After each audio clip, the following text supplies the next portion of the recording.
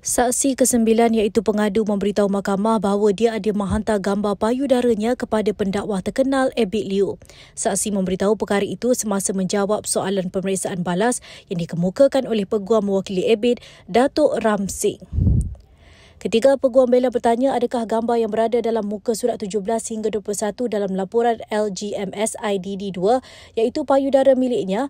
Saksi menyatakan betul gambar tersebut milik dia. Malah saksi juga turut mengaku ada menghantar gambar wajah miliknya kepada pendakwah berkenaan. Dalam keterangannya, saksi turut memberitahu bahawa dia ada mendedahkan kaki dan bahagian atas badan kepada Abid menerusi mesej dalam aplikasi WhatsApp. Katanya dia terikut dengan kehendak Abid untuk melihat atas badannya tapi dia tidak mendedahkan bahagian kaki. Malah suaminya juga tahu bahawa dia ada berkongsi gambar yang mendedahkan bahagian atas badan kepada Abid. Saksi juga memberitahu dia memberikan gambar tersebut kerana menerusi mesej WhatsApp daripada Abid, pendakwa tersebut sering memaksa, maka ada satu ketika dia terikut kehendaknya.